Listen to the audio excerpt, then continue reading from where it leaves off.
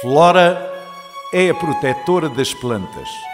Consegue comunicar com as plantas e tem o poder de fazer crescer todas as plantas. O Capitão Mundo tem o poder da sensibilização ambiental.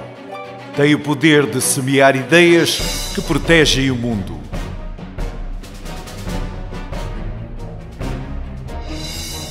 Amaralis é a protetora da fauna.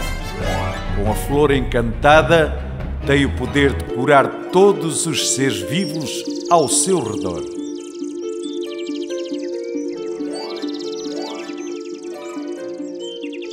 Super Negral é o protetor dos habitats.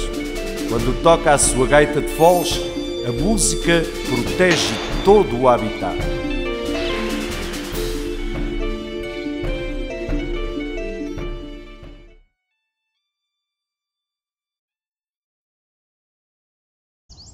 Se fores à Sintra, não podes deixar de fazer a viagem de elétrico até à Praia das Maçãs.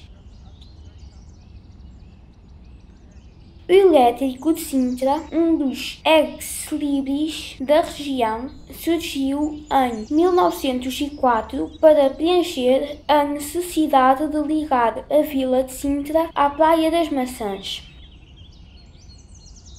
É uma viagem um pouco menos de 13 km com 8 paragens, feito em carruagens bem antigas.